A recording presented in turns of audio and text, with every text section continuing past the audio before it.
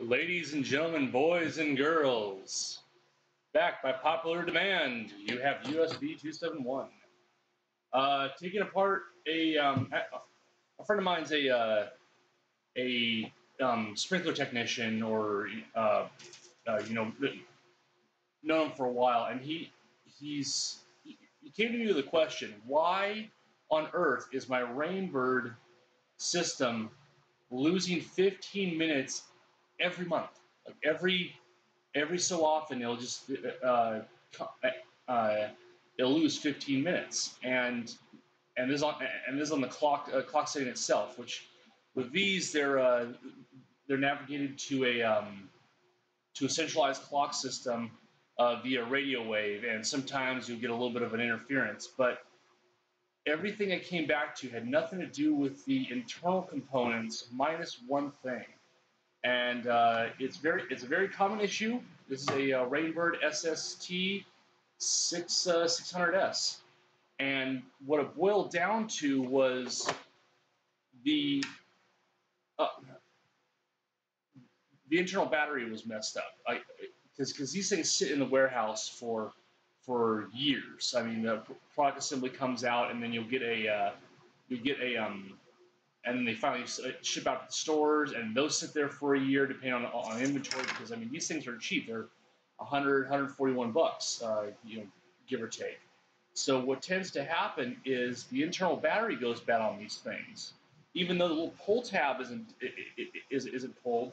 There's no there's no voltage coming off the battery itself, and when it's not engaged, it will it will continue to run. So what, what we do here is we access the battery. On this one, on some of them you have the 9 volt battery sources down here, but he he he is specified for for this style of model. So it's the SST 6 uh, 600S. And the cool thing about these is they don't have a 9 volt battery source down here, which would be usually, located down here. Uh, instead, it's actually on the board. And to get to that, I shall show you you essentially have to take off these uh, these four screws. So one one here, one here, one here, and one down in there. T typical small Phillips number ones.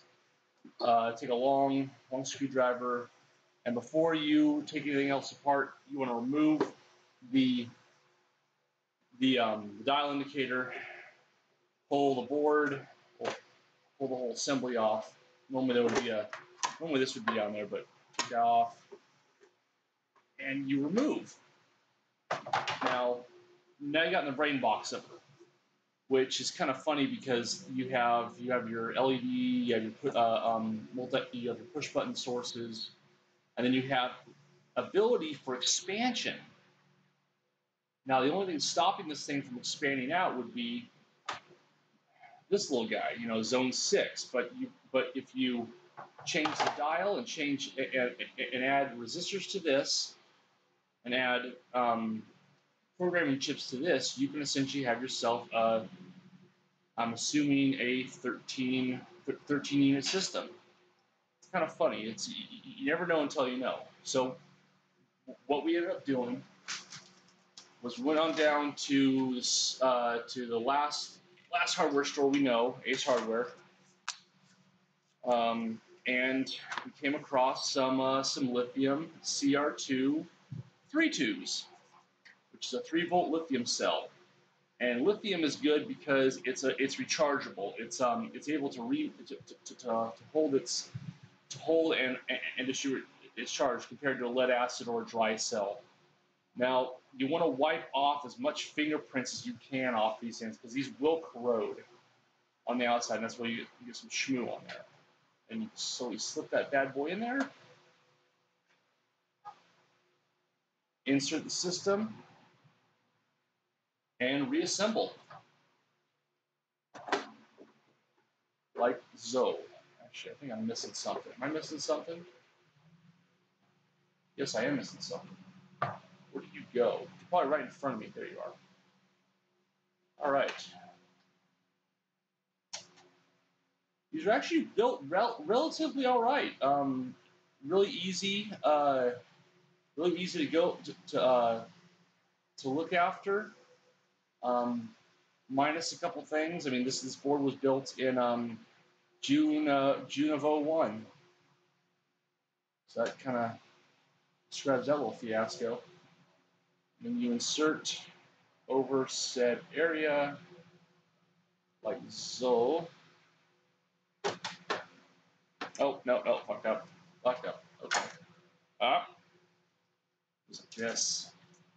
It goes like this.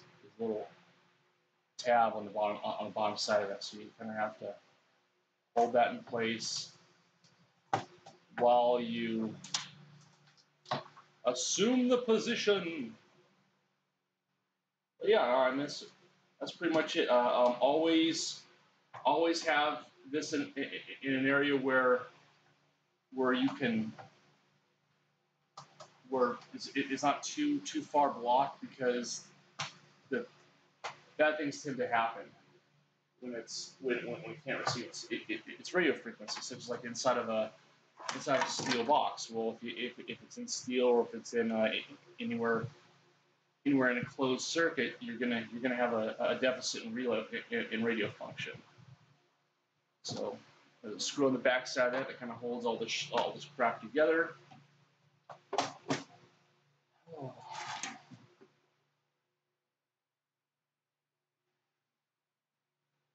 The insert so control knob, closed door. And while it's in the vertical function, you want to insert first set set screw hopefully it grabs. Yep, grab.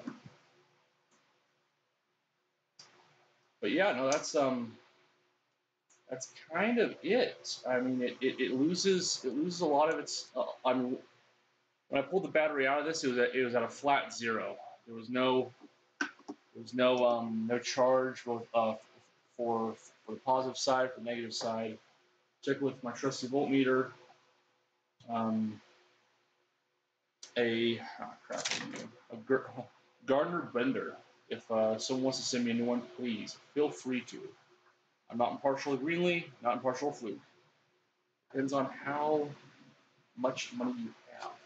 I'm go spend a, lot on the count of me. Anyway, so now what we do is we provide power to her, and hopefully my awesome circuitry doesn't go out. Okay. Beautiful. Now it won't it won't tell you when the battery is going bad. It, it, it will it will flash at you saying, yeah, there's a um, there is an issue with it, uh, and it will just continuously to drop off from that point. But other than that, uh, I mean, it's it's it's pretty simple at least from that aspect, everything else is kind of Wi-Fi oriented nowadays, so you kind of go from there. But anyway, um, that's all she wrote, boys and girls. Uh, thank you, Mr. Walters, for uh, everything. Later.